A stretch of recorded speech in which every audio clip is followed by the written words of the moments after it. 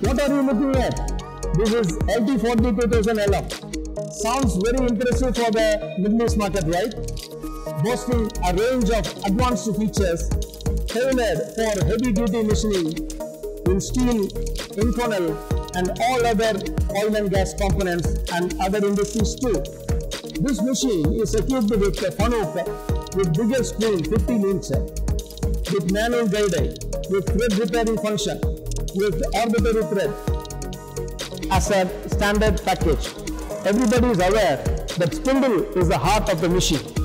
This machine is equipped with a heavy duty A2-11 spindle with 30 bar 37 kilowatt power with Baruffaldi gearbox which generates higher torque and lower RPM. We also provide a larger steady capacity which can go up to 390 mm with a longitudinal movement and also with the hydraulic clamping including latching. The turret is equipped with the larger disc around 150 mm of the width which can accommodate a 60 mm and also a 80 mm a boring bar holder.